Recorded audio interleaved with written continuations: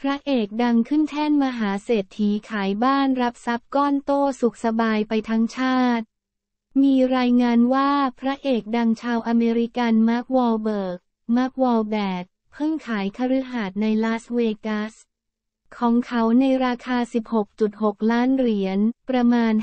580 ล้านบาท มาร์ควอลเบิร์กซื้อบ้านในเดือนสิงหาคมเมื่อปี 2022 ด้วยราคา 14.5 ล้านเหรียญสหรัฐ ตั้งอยู่ใน